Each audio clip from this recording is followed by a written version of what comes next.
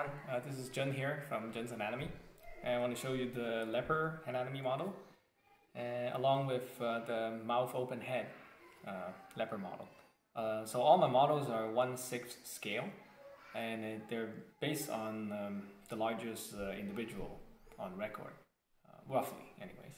So this model is about maybe 11, 10 or 11 inches long and it shows muscle on one side and the skin on the other side.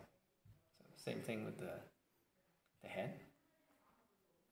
So uh, the basic set includes the main body and the mouth closed head and the tail.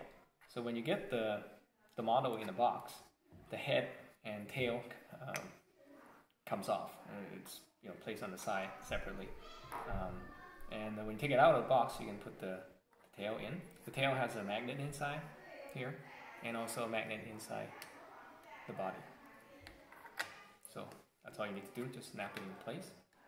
The head is the same thing, has a magnet on the, the peg here and also have a magnet on the inside the neck. And that's it. So um, if you want to, if you get the, um, the mouth open head, um, you can swap this with the mouth closed head. Like so.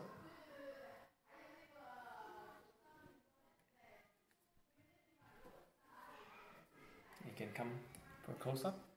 Yeah.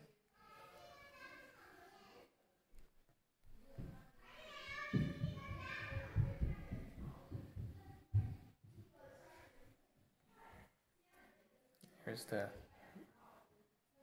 mouth close head.